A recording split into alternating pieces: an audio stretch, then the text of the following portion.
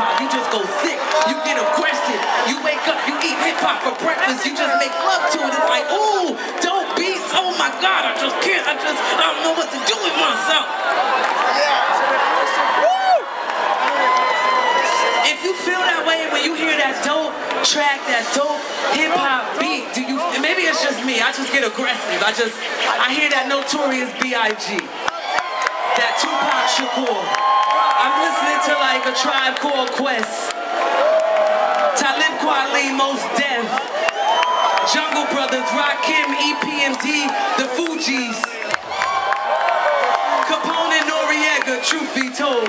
I just listen to that real hip hop stuff, and I just like, ooh, I just love it. I just wanna, I just, oh, I could just go to sleep with it. I could, oh,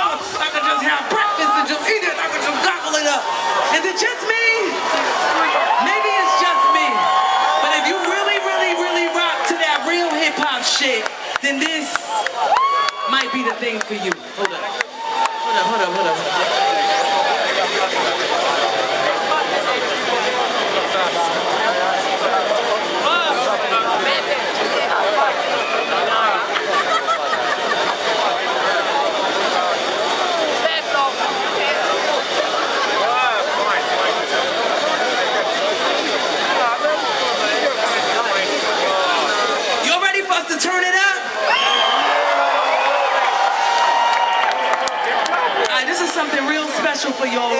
Special, because you know we love Romania the most.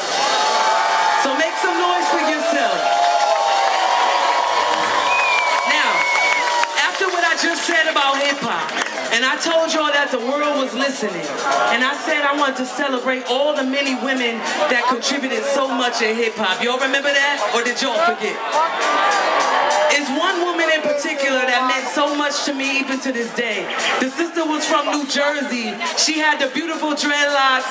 She came in a group with two dudes. They was coming with that, the score, the miseducation. I want to send so much love right now to Lauryn Hill wherever she is.